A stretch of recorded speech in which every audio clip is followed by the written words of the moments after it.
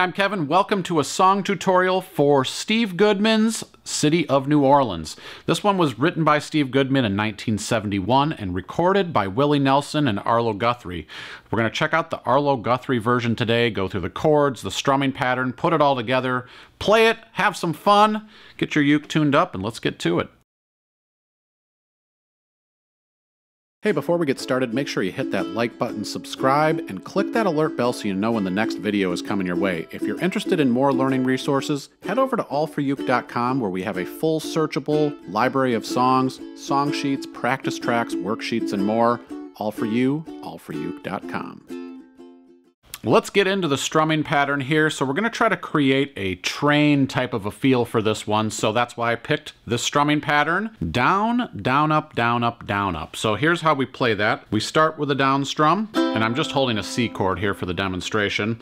And then it's down, up, down, up, down, up. And the way that we count this is one, two, and three, and so let's just try this together nice and slow so you can hear how this sounds with a C chord.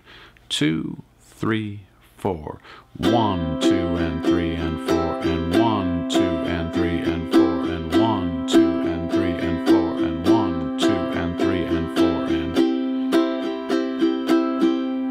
So that's the strumming pattern we'll use throughout the song. And the good news is the intro is just a C chord four times with that strumming pattern. Now let's get into the verse. And here we go. One, two, three, four. Riding on the city of New Orleans.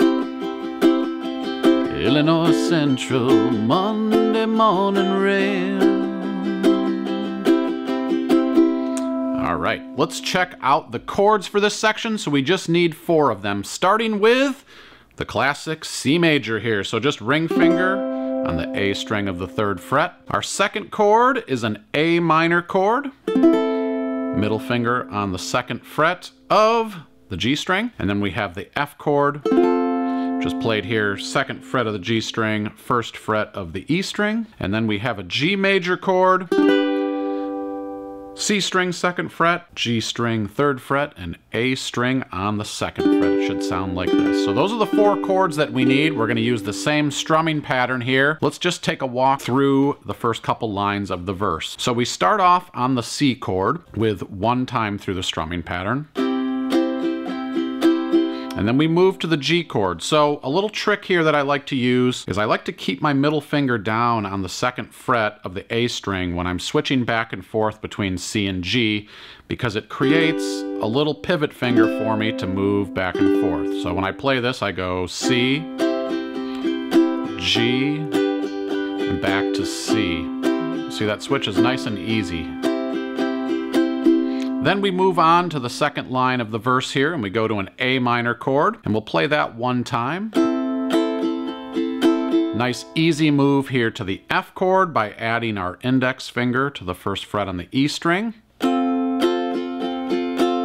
then I keep my ring finger here positioned over the A string so that I can make this nice easy move back to C and I'll strum that two times. And for this verse section here, the second two lines of the verse are the same as the first two lines of the verse, except for there is a switch from the F to the G chord in the last line of the verse. So just a little note on that before we play it. All right, I'll give us a four count in. We'll start on the C chord. I'm not going to sing through this, so just follow along with the chords. Here we go. One, two, three, four, C, G,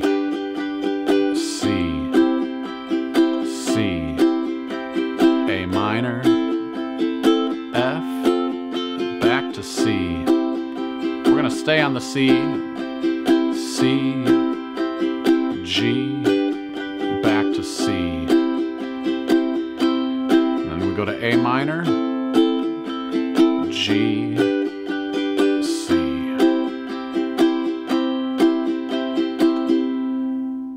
going to demonstrate the pre-chorus section. I'm just going to hang on the A minor a little bit as I start this up. Here we go. All along the southbound Odyssey, the train pulls out of Kankakee, rolls along past houses, farms, and fields. Passing trains that have no name, freight freight yards full of old black men, graveyards of the rusted automobiles. So let's check out the new chords for this section. We need an E minor chord here, our little staircase on the second, third, and fourth fret of the C, E, and A strings. Should sound like this. We also have a D major chord, so we can play that here on the second fret with our middle ring and pinky on the G, C, and E string. Or you could use index, middle, and ring for that D chord there. Another new chord for the section is a G7 chord. Looks sort of like the G chord, but sounds a little bit more bluesy. And we have our middle finger on the C string of the second fret, index on the first fret of the E string, ring finger on the A string of the second fret. Sounds like this. And then we also have a C7 chord, nice and easy, index finger, A string of the first fret. Nice bluesy C chord there. So here we go now. I'm gonna walk through the pre-chorus section with the strumming pattern and just kind of talk us through it here. So we start off on the A minor chord. We'll strum through this two times. And then we move to E minor. I like to play this with my pinky, ring, and middle finger to set myself up because I'm going to be moving to the G chord. You could also do it with ring, middle, and index and do the full chord switch here by switching all of your fingers. I just find this is a little easier because I'm already using my ring and my middle finger of the G chord before I move there. So that's a nice little switch to work on, a nice trick switching between E minor and G is using that pinky. Plus, using your pinky is just good to do in general for just kind of having the access to a lot of different chords. So once we're on the G chord, we're going to be going back to the D chord. So you could either slide your ring finger back to the second fret from the third and place your index and middle up here on the top two strings, or you could go middle, ring, and pinky. I'll leave that up to you. I kind of, in this situation, like the ring finger slide here to the D chord back and forth to the G. Now for the second half of the pre-chorus, we start off exactly the same. We play the A minor and E minor twice. The last line is where we have a little variation. So in the last line of the pre-chorus, we go to a G chord one time,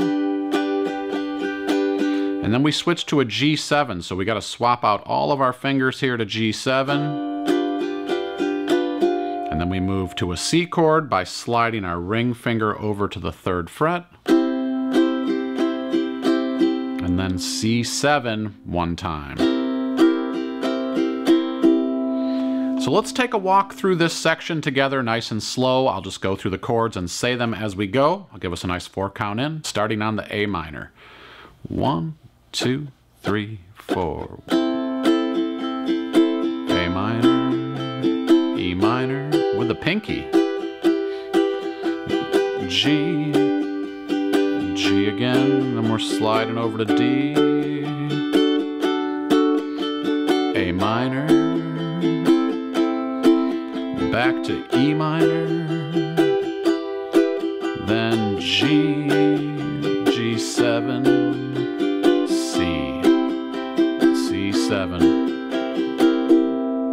That is the pre-chorus section.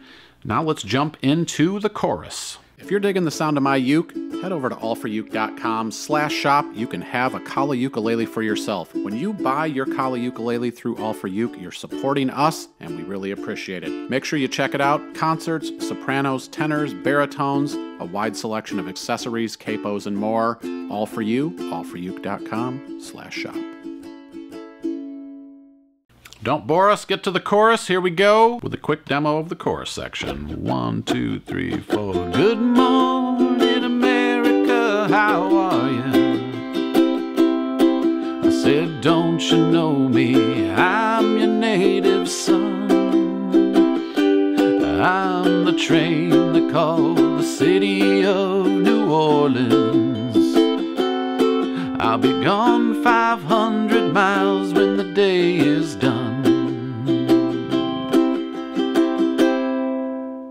Only a couple of new chords here for this section. The first one is a D7 chord, which we'll play with our middle finger on the G string of the second fret, ring finger here on the E string of the second fret. Nice open sounding D7. And then everybody's favorite chord, B flat.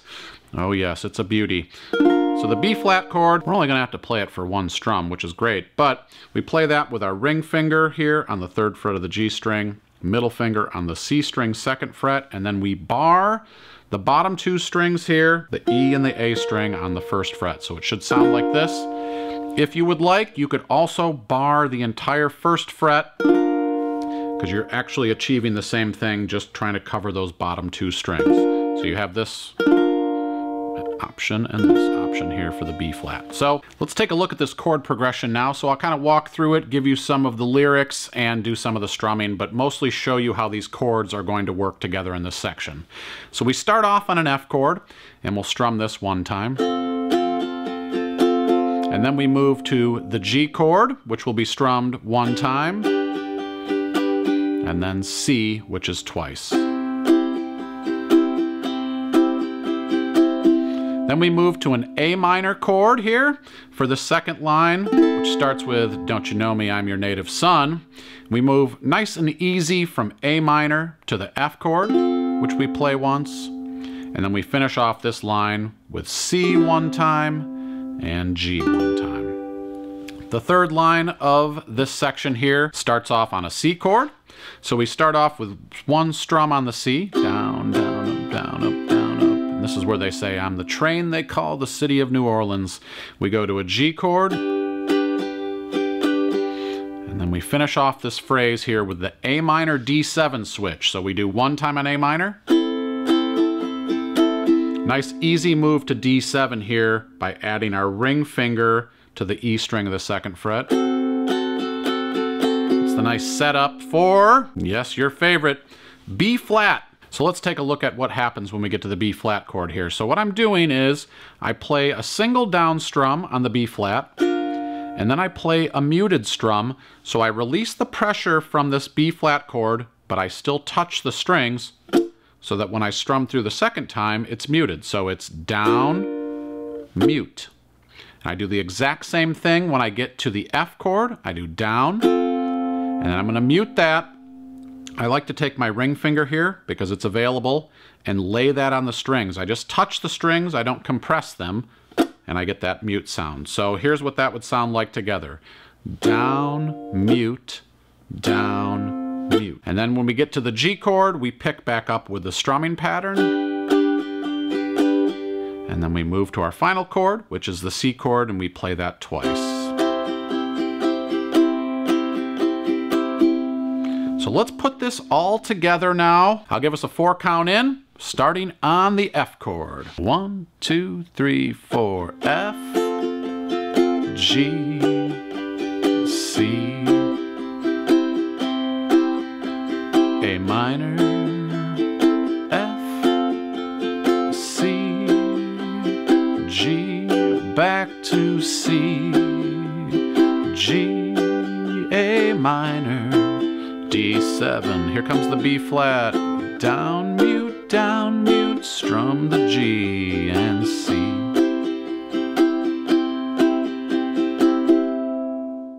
Before we play this one together, do me a little favor, hit that subscribe button, make sure you share this video with your friends and leave your comments below. If you would like a PDF of this full song with the chords, the strumming pattern, all of the goodies, jump over to allforuke.com. I have all the resources you need. Check them out. Now for the grand finale, let's play this one together. I'm going to start off by just doing the intro four times on the C chord, and then we'll go verse, pre-chorus, chorus. Follow along on the beautiful blue bar. Here we go. One, two, three, four. Two, three, four. Hop on the train, riding on the city of New Orleans. Illinois Central, Monday morning rail. Fifteen cars, fifteen restless riders. 25 sacks of mail to the pre-chorus. Let's bring it down a little bit. All along the southbound Odyssey, the train pulls out at Kankakee, rolls along past houses, farms, and fields. Passing trains that have no name, freight yards full of old black men, the graveyards and rusted automobiles. Here comes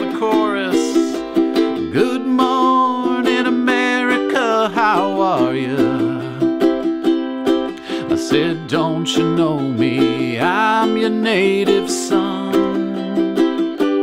I'm the train that called the city of New Orleans.